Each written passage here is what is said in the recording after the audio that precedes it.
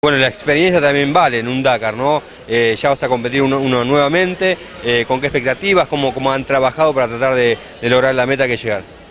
Eh, bueno, se ha trabajado en la, en la camioneta este año, se han hecho alguna, algunos rally cross country, el desafío de la Ruta 40, si bien no estuve yo, estuvo Conrado Martín con la compañía de Dante Pelayo, la camioneta está bárbara y bueno, nuestro objetivo va a ser dar la vuelta quedando en una mejor ubicación.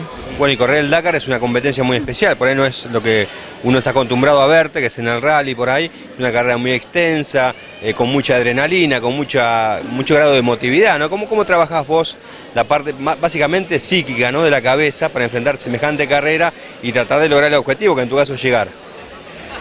Eh, sí, la verdad que trabajamos bastante en el 2013, tanto en lo físico como mentalmente, con, en lo físico con una entrenadora este, y en lo mental con una psicóloga deportiva, una psicóloga deportiva.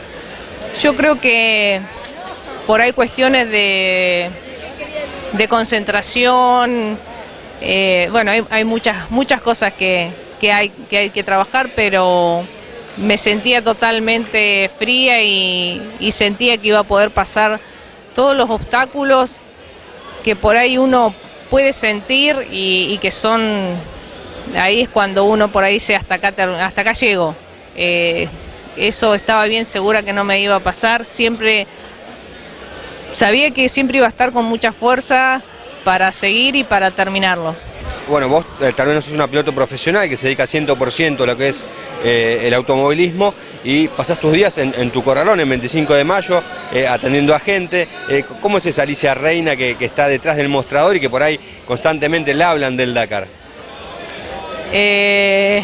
sí, es cierto, la verdad que la gente que por ahí va, va al corralón te habla del Dakar y bueno, siempre cuento mis experiencias eh, si tengo que contarlas 10 veces en el día, 10 veces las cuento porque me llenan de orgullo haberlo terminado, haber, haber participado del Dakar y haberlo terminado.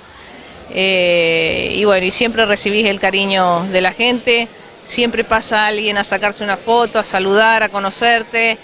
Eh, así que bueno, todos son bien recibidos en el negocio.